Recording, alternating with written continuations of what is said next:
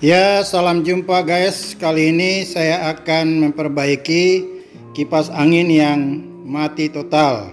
Ini kipas angin merek Maspion. Ini akan saya coba colok dulu ya.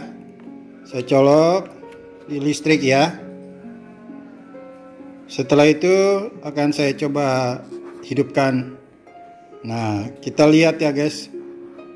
Ini kipas anginnya mati total, tidak tidak berputar. Ya, dia tidak berputar, guys. Ini akan kita coba akalin dengan cara kita akan uh, menyambungkan kabel. Seperti apa kita lihat lagi ya, guys.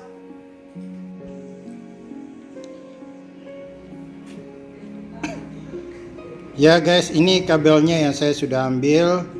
Uh, saya potong aja kira-kira sepanjang 20 cm itu akan kita coba untuk menyambungkan ya sebelumnya kita harus cabut dulu listriknya ini supaya jangan kesetrum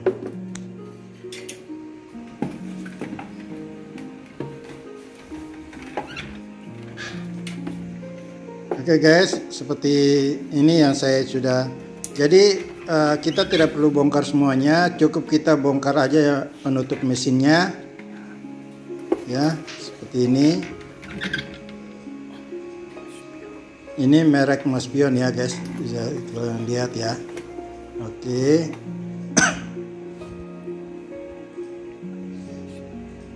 Nah ini dari kapasitor kabel dari kapasitor. Itu ada dua macam kabel.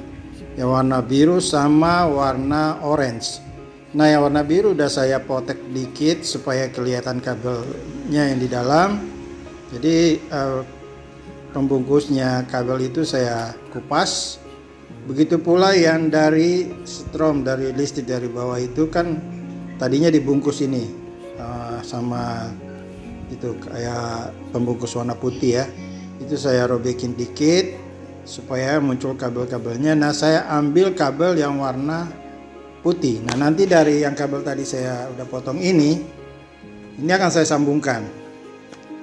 Ya, akan saya sambungkan supaya langsung ke uh, dari kabel biru ke kabel putih yang ini. nah ini saya udah sambung di kabel yang putih ya. Bisa guys lihat itu saya sudah sambung. Akan saya sambungkan ke yang kabel warna biru. Nah seperti kita lihat ini, ini udah tersambung ya dari kabel warna putih ke kabel warna biru. Itu udah sekitar sudah saya sambungkan. Nanti kita lihat apakah dia bisa berputar atau enggak.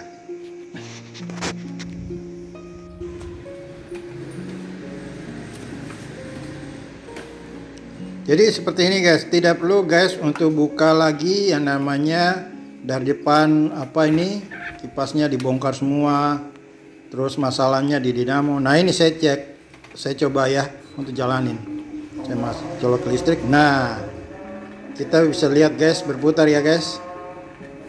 Itu karena tadi sambungan kabel itu.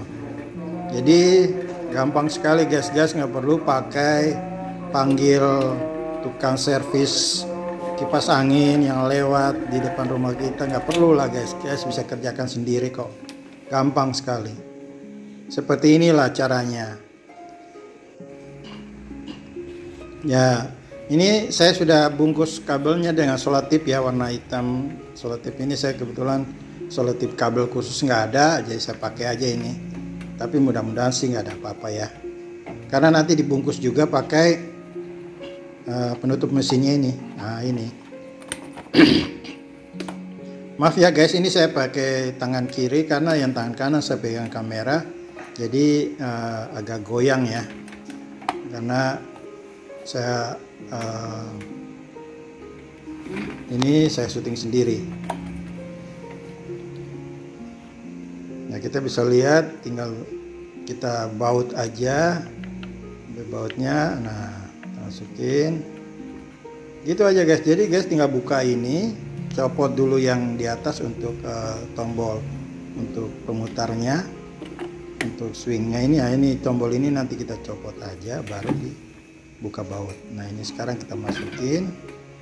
Ini ya guys. Nah kita kencangin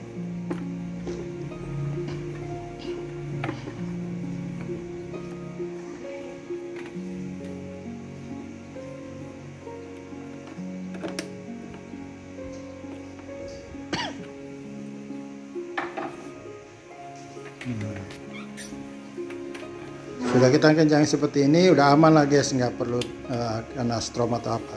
Nah kita masukin colok. Nah jalan ya guys.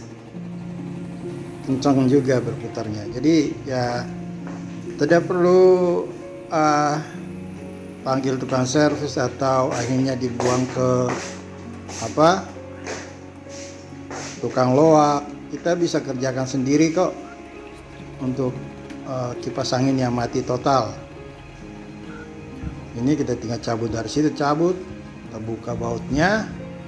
Udah kita cari saya ulangi lagi kabel dari kapasitor itu yang berwarna biru. Ya ada dua warna kadangkala biru sama coklat. Namun yang saya ini biru sama orange. Kalau merek yang lain kemungkinan warnanya coklat biru sama coklat. Terus yang kabel dari bawah dari strom dari bawah ini ambil yang warna putih. Oke guys, kira-kira itu saja yang bisa saya sampaikan. Terima kasih sudah menonton video ini ya guys. Thank you.